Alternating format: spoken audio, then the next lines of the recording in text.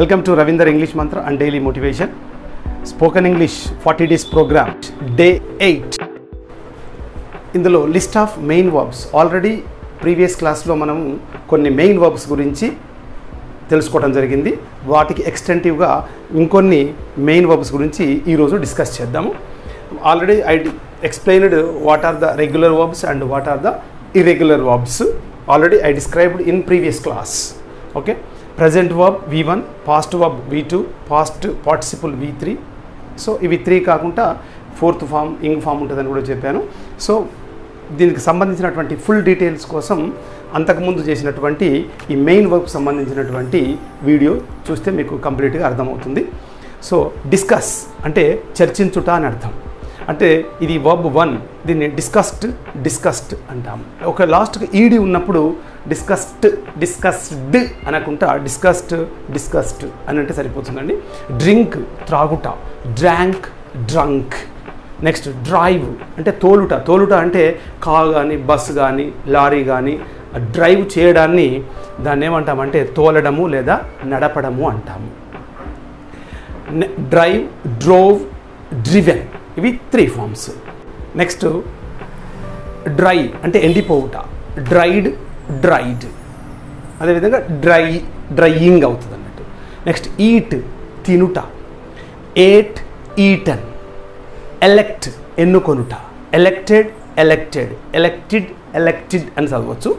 Next engage పనిలో పెట్టుకోవటం. అంటే ఒకరిని ఒక వ్యక్తిని కానీ లేకపోతే ఇంకేదైనా ఒక వాహనాన్ని కానీ ఎంగేజ్ తీసుకోవటం అంటే పనిలో నియమించుకోవటం అని అర్థం. Engaged engaged. ఎంజాయ్ అంటే సుఖించుట సంతోషపడుట ఆనందపడుట అని అర్థం. Engaged engaged. సారీ ఎంజాయ్ కదా? Enjoy enjoyed enjoyed. Next enter. Enter అంటే ప్రవేశించుట అని అర్థం. Entered entered. ఎస్కేప్ అంటే తప్పించుకోవడం. ఎస్కేప్డ్ ఎస్కేప్డ్ తర్వాత ఎక్స్ప్రెస్ ఎక్స్ప్రెస్ అంటే తెలియజేయటం. అంటే వర్బ్ అయినప్పుడేమో తెలియజేయుట. అదే నౌన్ అయితే మాత్రం ఎక్స్ప్రెస్ మామూలుగా బస్సు అలాంటి అంటారు కదా అది వేరు. ఎక్స్ప్రెస్ అంటే. ఇక్కడ ఎక్స్ప్రెస్ అంటే వర్బ్ కాబట్టి ఎక్స్ప్రెస్డ్ ఎక్స్ప్రెస్డ్ తర్వాత ఫాల్ అంటే పడుట. అంటే కింద పడిపోవడము లేదా పడటము అని అర్థం. తర్వాత ఫెల్ ఫాలెన్ తర్వాత ఫీడ్ ఫీడ్ అంటే పోషించడం. అంటే ఏదైనా మిల్క్ కానీ ఫుడ్ కానీ అలాంటిది ఇవ్వడాన్ని ఫీడ్ అంటాము.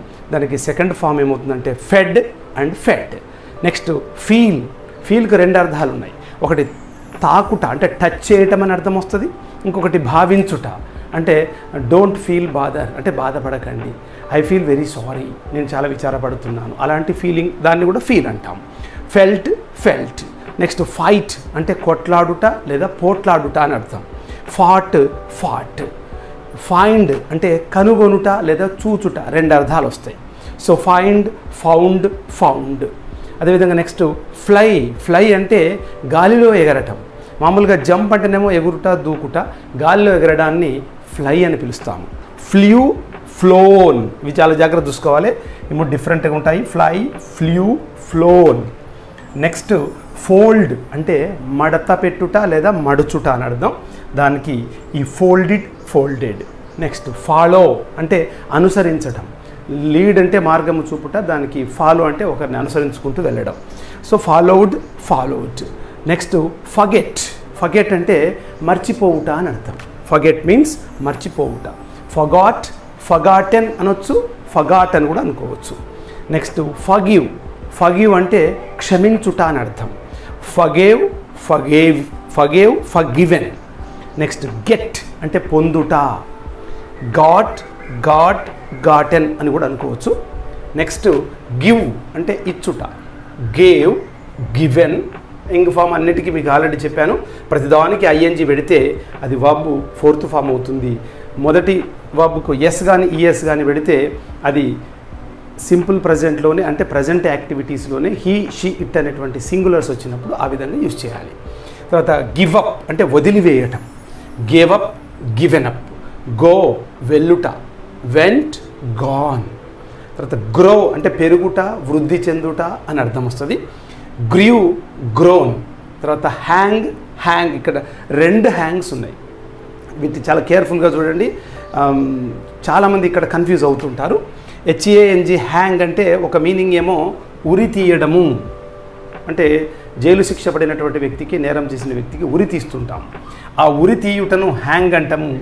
ఉరి తీశారు అంటే దానికి హ్యాంగ్డ్ అనాలి. థర్డ్ ఫామ్ కూడా హ్యాంగ్డ్. Hang hanged hanged. అదే సేమ్ స్పెల్లింగ్ తోటి ఇంకొక హ్యాంగ్ ఉంటుంది. హెచ్ఏఎన్జి హ్యాంగ్ అంటే ఇది వేలాడుట అని అర్థం. హ్యాంగ్. అందుకే మనకి ఇంట్లో మనం షర్ట్స్ కానీ ప్యాంట్స్ కానీ తగిలించుకోవడానికి హ్యాంగర్ అనేది ఒకటి ఉంటుంది. హ్యాంగర్ అని పిలుస్తాం దాన్ని. సో హ్యాంగ్ అంటే ఇక్కడ వేలాడుట. దీనికి సెకండ్ ఫామ్ వచ్చేసి హంగ్ థర్డ్ ఫామ్ వచ్చేసి హంగ్. So hang hang. ఈ రెండింటికి ఉన్నటువంటి డిఫరెన్స్ అండి. ఫస్ట్ హ్యాంగ్కి ఏమో ఉరి తీయుట సెకండ్ హ్యాంగ్కి ఏమో వ్రేలాడ తీయుట అని అర్థం. దీనికి హ్యాంగ్డ్ హ్యాంగ్డ్ వస్తుంది దీనికి ఏమో హంగ్ హంగ్ వస్తుంది. తర్వాత హ్యాపెన్. హ్యాపెన్ అంటే జరుగుట లేదా సంభవించుట అంటాం. అంటే ఒక ఇన్సిడెంట్ జరిగినప్పుడు దాన్ని హ్యాపెన్ అంటాం. So happen happened happened. Happening. Next H E A R hear. R silent కాబట్టి హియర్. అంటే వినుట అని అర్థం. హియర్డ్ హియర్డ్ దీన్ని హార్డ్ హార్డ్ అని చదువుకోవాలి. నెక్స్ట్ హైడ్ అంటే దాచిపెట్టుట దాగుకొనుట అని అర్థం. అంటే కనపడకుండా దాచిపెట్టడాన్ని హైడ్ అంటాం. దాచుకోవడాన్ని కూడా హైడ్ అంటాం. హైడ్ సెకండ్ ఫామ్ వచ్చేసరికి హిడ్ అంటే దాచుకొనెను లేదా దాచిపెట్టెను అని అర్థం వస్తుంది. హిడెన్ థర్డ్ ఫామ్ వచ్చేసి హిడెన్ వచ్చేస్తుంది. నెక్స్ట్ హిట్ అంటే కొట్టుట. హిట్ అంటే కొట్టడం. హిట్ హిట్ హిట్ ఈ మూడు ఒకేలాగా ఉంటాయండి first form second form third form. Next hold H O L D hold అంటే పట్టుకొనుట. సెకండ్ ఫామ్ హెల్డ్ హెల్డ్ పట్టుకొనుట అనేది ఒక అర్థం వస్తుంది. నిర్వహించుట కండక్ట్ చేయటం అని కూడా ఒక అర్థం వస్తుంది అన్నట్టు. అంటే వి హెల్డ్ అ మీటింగ్ మేము ఒక మీటింగ్ను ఏర్పాటు చేశాము.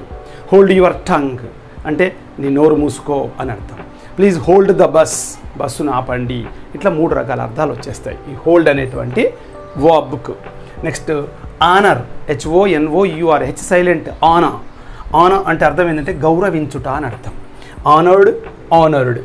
Next hurt R silent. Hurt అంటే బాధించుట. నెక్స్ట్ ఆనర్ తర్వాత హోప్. హోప్ అంటే ఆశించుట. Hoped hoped. నెక్స్ట్ హర్ట్ అంటే బాధించుట ఇబ్బంది కలిగించుట మనసును నొప్పించుట అని అర్థం వస్తుంది ఇక్కడ. హర్ట్ అంటే hurt hurt. Three forms are same. Imagine అంటే ఊహించడం. ఇమాజిన్ చేసుకో. Imagine that you are the chief minister of the state imagine that you are Abdul Kalam అనుకోండి అని అంటాం కదా దాన్ని ఇమాజిన్ చేసుకోవటం ఊహించుకోవటం అని అర్థం. ఇమాజినడ్ ఇమాజినడ్ తర్వాత ఇంక్రీజ్ ఇంక్రీజ్ అంటే పెరగటం దానికి ఆపోజిట్ డిక్రీజ్ అవుతుంది అన్నట్టు. సో ఇంక్రీజ్ పెరుగుట ఇంక్రీజ్డ్ అంటే పెరిగెను ఇంక్రీజ్డ్ పెరిగెను ఇంక్రీజింగ్ పెరుగుతూ అని అర్థం వస్తుంది. నెక్స్ట్ ఇన్స్పైర్ ఇన్స్పైర్ అంటే ప్రేరేపించుట అంటే మోటివేట్ చేయటము అని అర్థం. So inspired inspired introduce introduce అంటే అర్థం ఏంటంటే పరిచయం చేసుకోవటం.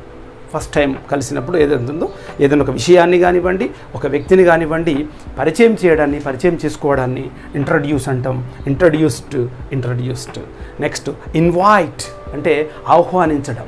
ఇన్వైటెడ్ ఇన్వైటెడ్ నెక్స్ట్ జంప్ అంటే దూకుట. జంప్డ్ జంప్డ్ నెక్స్ట్ కీప్ అంటే పెట్టుట భద్రపరచుట ఉంచుట ఇన్ని అర్థాలు వస్తాయి. Okay? So keep first form అయినప్పుడు second form kept third form kept అవుతుంది. నెక్స్ట్ కిల్ అంటే చంపుట అని అర్థం. Killed killed. సో ఈ ఈడీ వచ్చినప్పుడు టీ లాగా వాళ్ళకండి. కిల్ట్ అని చదవాలి. నెక్స్ట్ నాక్ కే సైలెంట్ ఇక్కడ. నాక్ అంటే తట్టుట అని అర్థం. అంటే knock the door somebody is knocking at the door ఎవరో తలుపు తడుతున్నారు అని అర్థం. Knock knocked knocked next K N O W K silent know అంటే తెలుసుకొనుట అని అర్థం.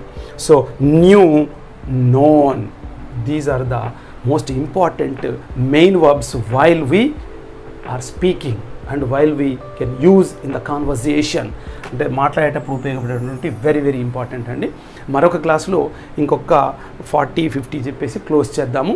ఇవి కనుక వీటితో పాటు ఇంకా మీకు ఎక్కడైతే wherever you read and write and listen and new verbs you have to try you have to try make them into three forms ఎక్కడ వర్బ్ కనపడితే అక్కడ మీరు త్రీ ఫార్మ్స్ చేసేటువంటి ప్రయత్నం చేయాలి. ఓకే ఈ విధంగా మీరు ఈ మెయిన్ వర్బ్స్ను వీ ఇవి కేవలం నేను కొన్ని మాత్రం ప్రాపిస్తున్నాను మీ ఓన్గా కొన్ని కలెక్ట్ చేసుకొని ప్రాక్టీస్ చేస్తే నెక్స్ట్ చెప్పబోయేటువంటి ఏదైతే యాక్షన్స్ ఉన్నాయో ఏదైతే పనులు ఉన్నాయో ఏదైతే ప్రజెంట్ పాస్ట్ ఫ్యూచర్ మనం స్పోకెన్ ఇంగ్లీష్లో యూజ్ అయ్యేటువంటి సెంటెన్స్లో ఖచ్చితంగా ఈ వర్బ్స్ యొక్క ఇంపార్టెన్స్ చాలా ఎక్కువగా ఉంటుంది కాబట్టి మరిన్ని మెయిన్ వర్బ్స్ను ప్రాక్టీస్ చేయండి. Okay? So do like share and comment if you like my video. Don't forget to subscribe my video. Thank you for watching the video